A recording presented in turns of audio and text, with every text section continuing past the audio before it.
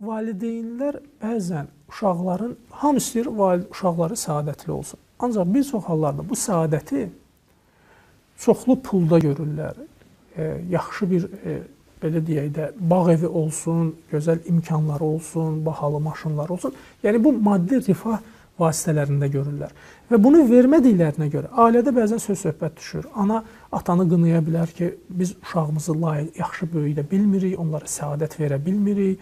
Ona görə ki, uşağın filan istədiyi, məsələn, paltarı istədiyimiz kimi filan firmadan, başqa hansı bir brend dükandan alınmayıb və yaxud da böyük qardaşının geyinmiş paltarını geyinir bu kiçik qardaş. Biz uşağımız yaxşı ata deyilik, yaxşı valideyn deyilik.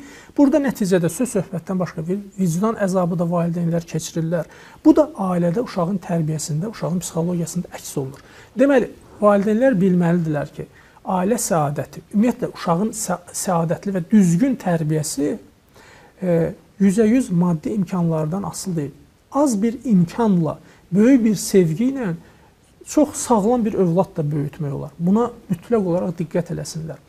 Əksinə bu cür narahatçılıqlarla uşaqda onsuz da yəni uşaq o problemləri elə də böyük bir problem eləmir. Ancaq valideyn onu qabartmaqla uşağın indidən beyninə yeridirlər ki, yəni bu böyük bir problemdir. Səadət bundan asılıdır. Və nəticədə uşaq onu həyatında görmədiyinə görə o valideynlərini başlayacaq qınamağa və özünü bədbəxt bir insan kimi hiss eləyəcək. Daha da böyüdükcə bu onun psixologiyasında köklü surətdə yer eləyəcək.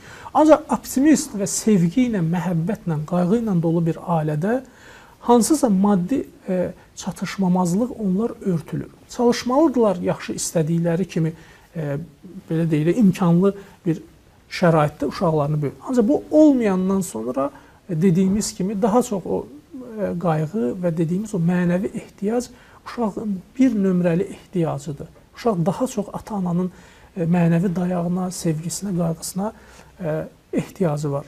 Ondan sonra digər maddi ehtiyaclar